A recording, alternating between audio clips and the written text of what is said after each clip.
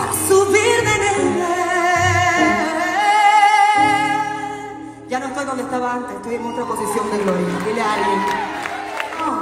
Es que el nivel donde estoy ahora es de otra dimensión de gloria. Porque ni yo mismo